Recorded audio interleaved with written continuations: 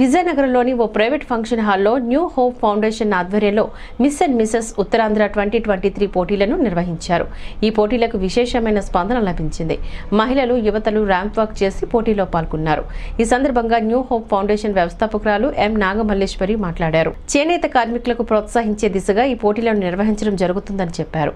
పెద్దలను గౌరవించడం సాంప్రదాయాలను భావితరాలకు అందజేయడమే లక్ష్యంగా తమ ఫౌండేషన్ పనిచేస్తుందని అన్నారు. మానవతా విలువలు కాపాడుకోవాల్సిన బాధ్యత ప్రతి ఒక్కరిపై ఉందని అన్నారు. ఈ కార్యక్రమంలో Suresh Naidu New Hope Foundation సభ్యులు పాల్గొన్నారు.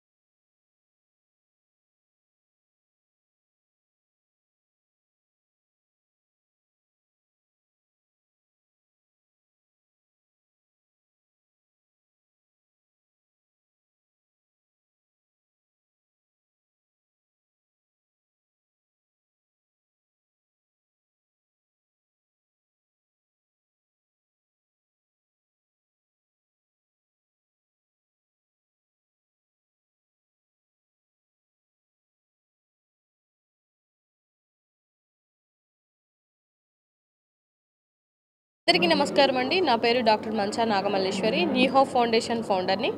గత కొన్ని సంవత్సరాలుగా ఎన్నో సేవా కార్యక్రమాలు ఈ ఫౌండేషన్ ద్వారా చేయడం జరిగింది. అందులో భాగంగానే miss and Mrs Uttarandhra two thousand year కాబట్టి ట్వంటీ త్రీ గత ఫోర్ ఇయర్స్ నుంచి మనం ఈ కార్యక్రమం చేస్తున్నాం.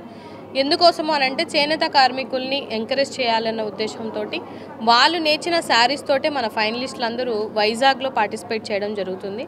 అందులో భాగంగా last month Visakhapatnam auditions complete చేసుకున్నాం. ఇవాళ విజయనగరం ఆడిషన్స్ అవుతున్నాయి. అదేవిధంగా శ్రీకాకుళంలో కూడా ఆడిషన్స్ అనౌన్స్ చేస్తాము.